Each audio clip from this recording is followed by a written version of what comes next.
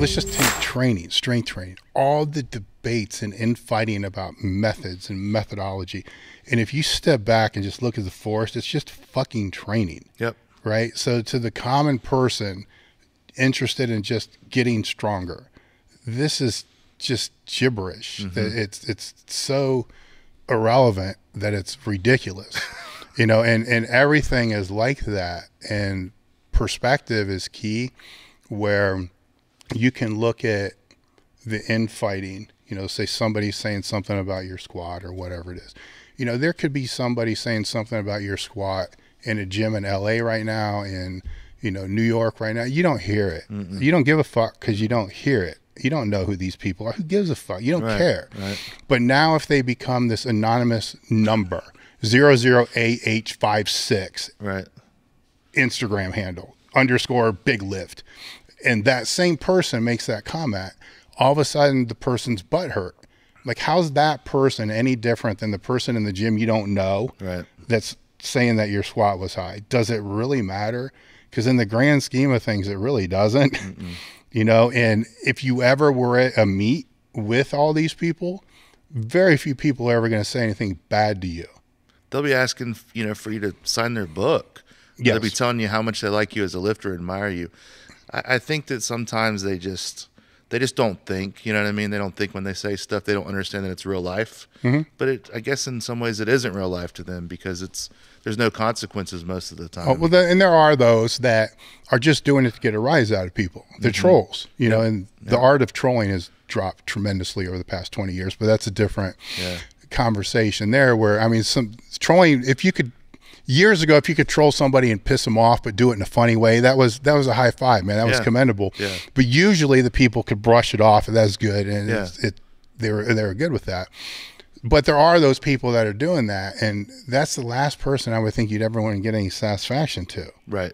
like somebody that's purposely trying to get under your skin if they try to do that in real life you just kind of walk away like what the fuck get away I've tried to explain that to people when they get real motivated. They're, they're generally the fiery people that get really motivated and they like people to talk shit to them and they get motivated. And I've seen people saying, I'm okay, I'm not going to, I never compete raw. Watch this. I'm going to do raw. And I'm thinking, I've had these conversations with younger lifters. And I'm like, you, you can do what you want, but think about it. Are you just going to let them dictate what you do forever?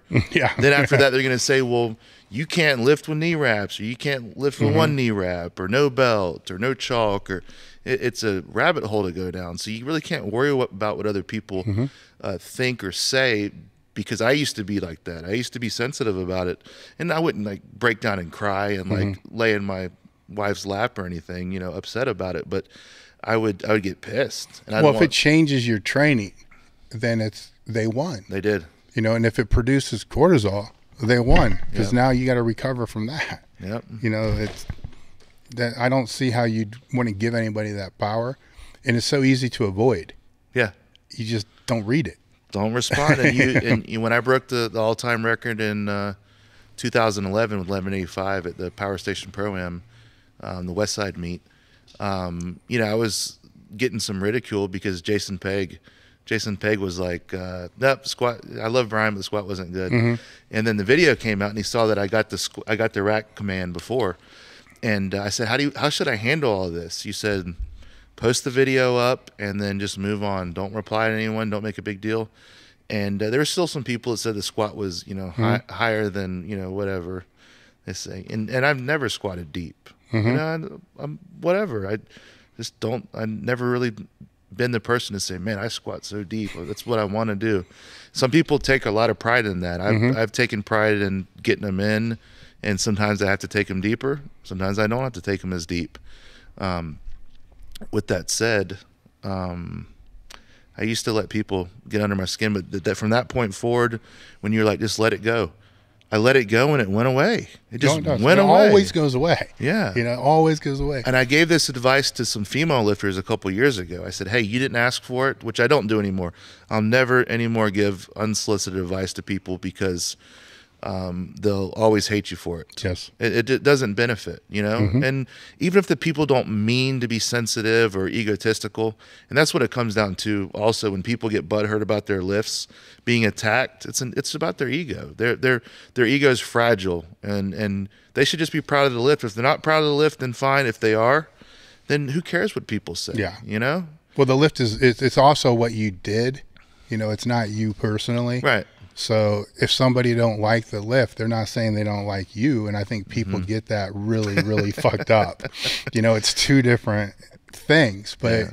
and I can see where the signals get mixed because people put a lot of themselves into that, Yeah. but it's still not them. You know, it's it's not. Yeah, Joe Rogan said a few times that you have to be very careful when you're critiquing fighters because they go in there with the mindset they could not come out of the, the octagon that night alive. And when you're picking on them and belittling them, there's a difference between critiquing them and actually bashing them, saying, What the hell is this person doing? He didn't train, he can't fight. And that's happened at times, and the fighters get really pissed because that's their life's work Yep. and they're risking everything going in there. So I, I get it isn't the same with powerlifting, so I'm, don't misconstrue that. But there is a big price that we pay to get on the platform Mm-hmm. and do it. So uh, the biggest thing is just letting it go and let, let people say what they have to say, you know, and, and then You can't it. change it. You know, like, you can't control it either. The only the only thing I haven't seen done is for somebody to do a lift that's controversial, and then to actually post. Man, that was high as fuck. you know what I'm saying? Yeah. But I got it passed. Yeah, Wh- What's anybody gonna say? yeah, Like, what are they gonna say then? nothing. You know, they, they can't. You know, it's like, look, I did what I had to do. The judges gave it to me. Fucking thumbs up.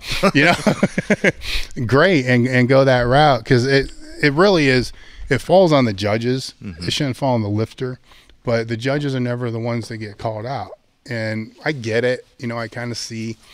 But in other sports, that's never the case. Yep. You don't see the receiver getting called all kinds of shit for the touchdown. You know, it's That he clearly didn't have both feet in or whatever yeah, it may be. it's yeah. the refs that get the shit, but not not in powerlift. It's never the case. It's never the ref. It's never the meet director. It's never. It's always the lifter. Yeah. Like they have any control. Well, then they tor- they turn it into a moral high ground too.